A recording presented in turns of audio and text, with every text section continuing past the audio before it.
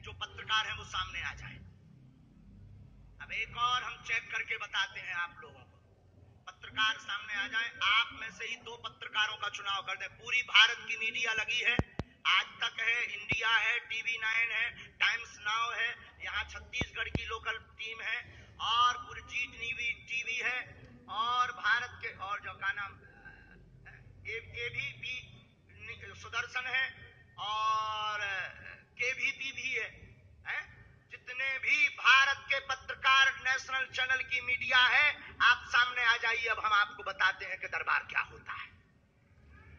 और ये भारत के इतिहास में किसी भी आ, धर्म में नहीं होगा। तुम पादरियों के सामने नहीं जा सकते हो ना पादरी तुम्हारा सामना करेंगे डर के मारे भाग जाएँगे। लेकिन बागेश्वर बालाजी रियल सनातनी मंत्र दरबार है हनुमान जी का। हम तुमको जवाब देने को तैयार है। और तुम्हारे साथ साथ आर न्यूज़ भी है न्यूज़ नेशन भी है सब है। तुम्हारे साथ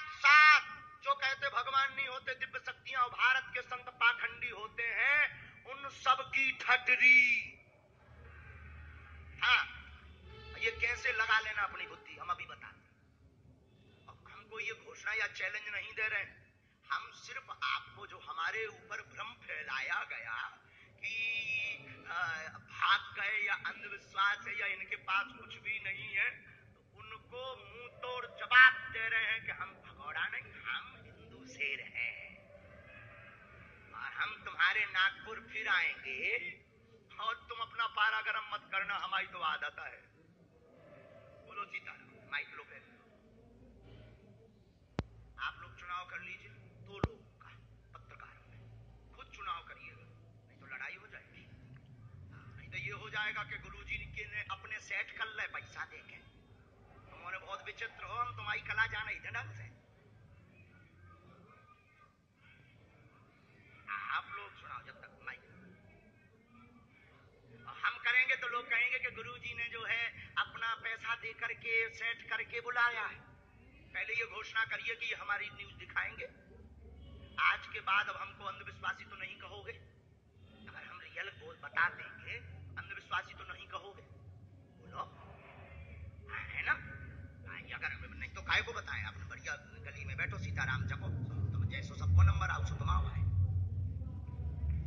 कौन स्पेशल बोलो अगर तुम मानते हो तो तुमको जो है आ, ये कहना पड़ेगा कि ये अंधविश्वास नहीं है आँखों से हमने देखा है दर्शक इसका निर्णय करें।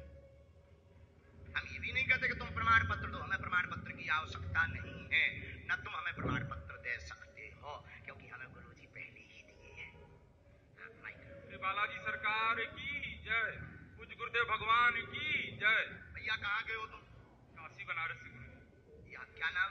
विवेक सिंह। यहाँ तुमने किसी को बताया था क्या? नहीं गुरु जी यहाँ क्या कर रहे छत्तीसगढ़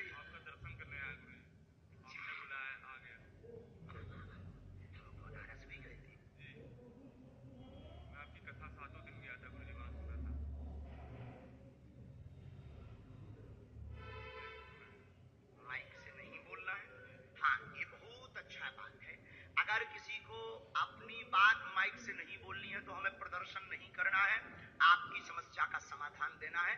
माइक बिल्कुल बंद करवा सकती है। क्योंकि हमें ना तो प्रदर्शन करना, ना हमको प्रमाण पत्र से बोलो क्या बात हम अपना भी कर ले। तुम पहले एक पर्चा लेकर के आए हो, माइक लो पहले। तुम्हारी जेब में पर्चा है और पर्चे में प्रश्न लिख कर लाए हो, पहले वो निकालो हाँ, हम सनातनी हैं बागेश्वर बालाजी के ये पर्चा उनको दिखाओ, कैमरा में। हमें मत दिखाओ तुम मत करना। टीवी वालों को दिखाओ, टीवी वालों। और इस पर्चे में छह नंबर तक के प्रश्न लिख करके ये लाए हैं। कितने नंबर तक है? पढ़ लीजिए।